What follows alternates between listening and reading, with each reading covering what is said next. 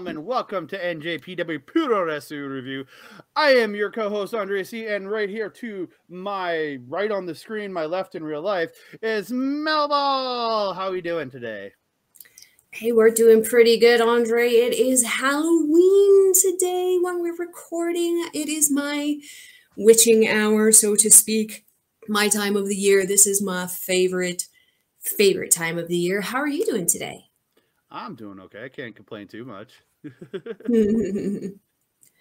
awesome, awesome. And we've been taking in some amazing wrestling for this last championship or sorry, tournament. Always seems though every time we turn around, we've got another tournament coming out of NJPW here, man. Um, this one is going to be about in Japan are crazy.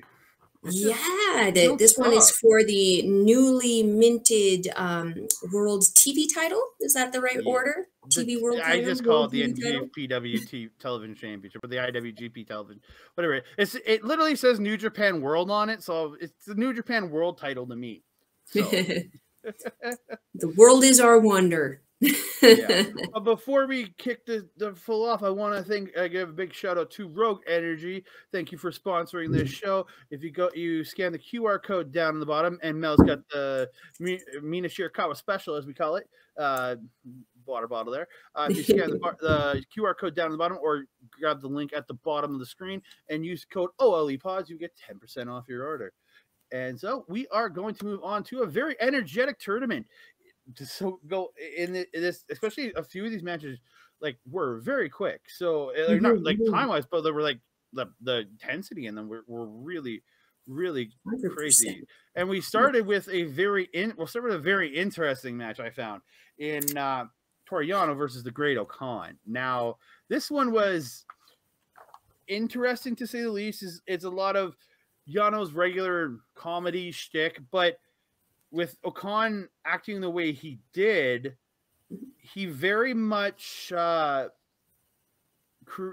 turned Yano into his almost into his wrestler style for a little bit in this match. Mm-hmm. Mm-hmm. And then, very, very much so.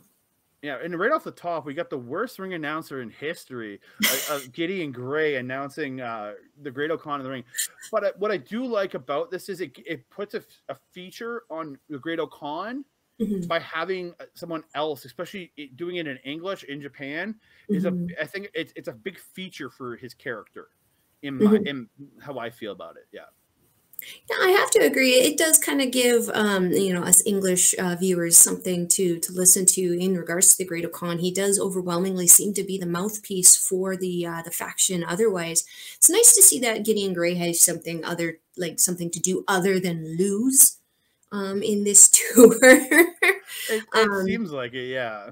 Yeah, though we gotta say, I mean, Kevin, Kevin Kelly, be nicer, man. Simmer oh, your he, boobies there. Yeah, he, he's really been mean. Like I understand Chris Charlton; they're both from the same country, and he they're both from England. He hates the upper class. Whatever, that's one thing.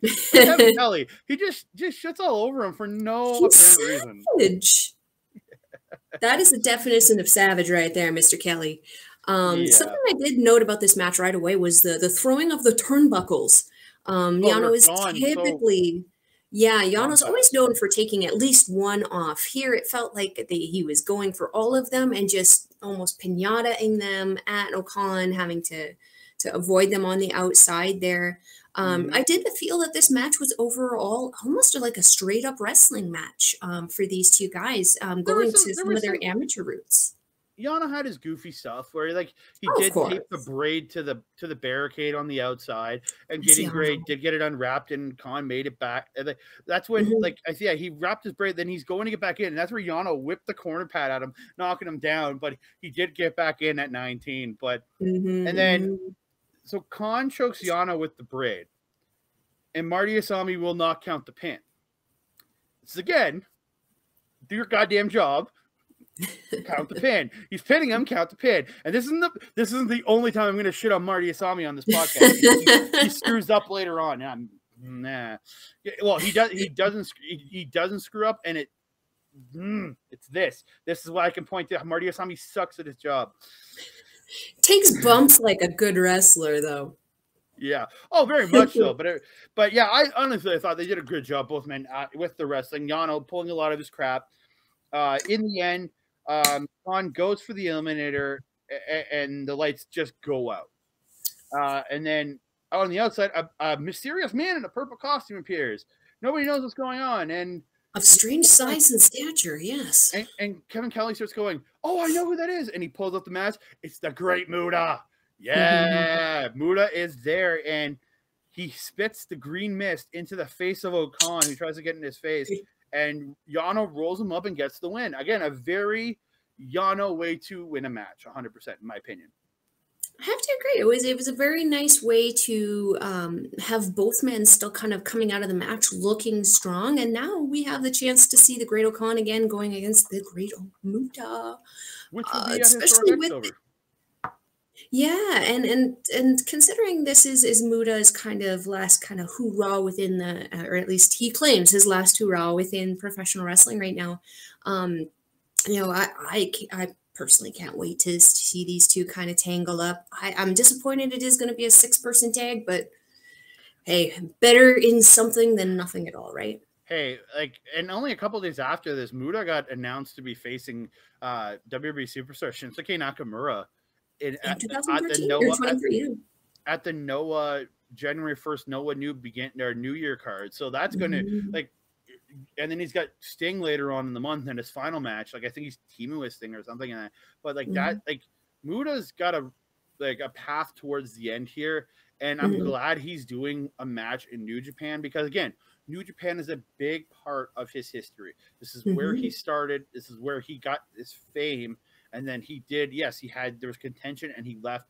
Uh, went to mm-hmm. zero, I think it was zero one, and yeah. So you got to you look at it and I'm very happy he's back, and I'm very mm-hmm. happy to see him work with guys like Great Khan and Jeff Cobb. I am very excited to see that. Mm-hmm, mm-hmm. Moving on to Aaron, our next and Aaron Henare too. yeah, that guy. Yeah. I, I, no shade on Aaron Henare. He's he's very. He, I very much enjoy this.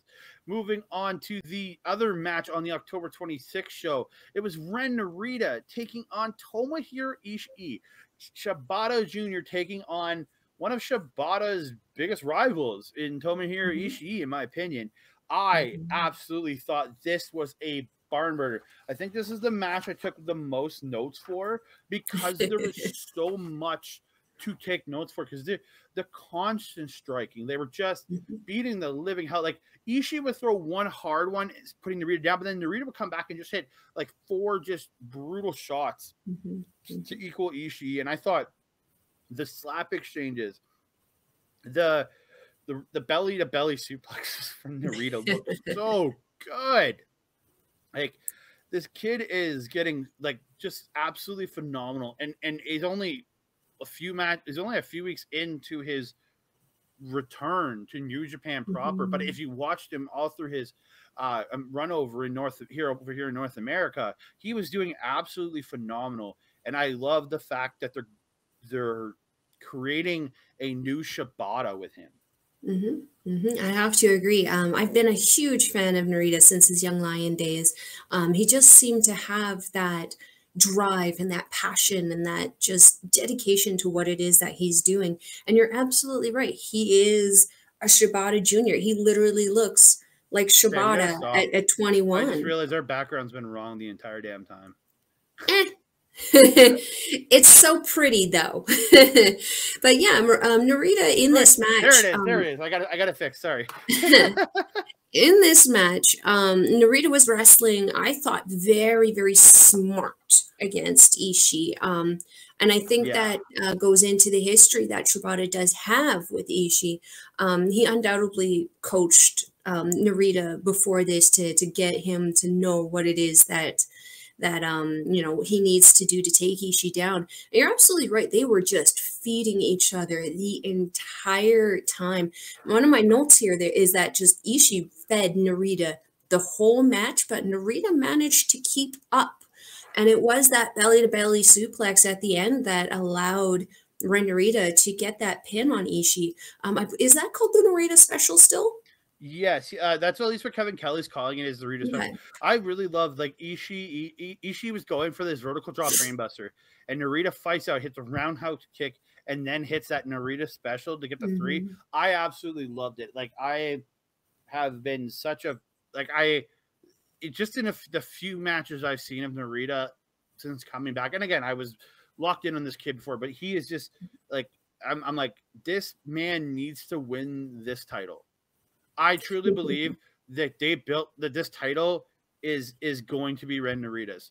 Now we'll get to who's eventually going to be there, but I want Ren Narita to win out this tournament. I think he is absolutely uh, phenomenal in in what he is doing and I think this kid is going to be a star for this company. I'm not going to disagree with you there. I mean, this kid again has been on my radar since he was a young lion. So, you know, everything you're saying there is everything I've already thought. yeah.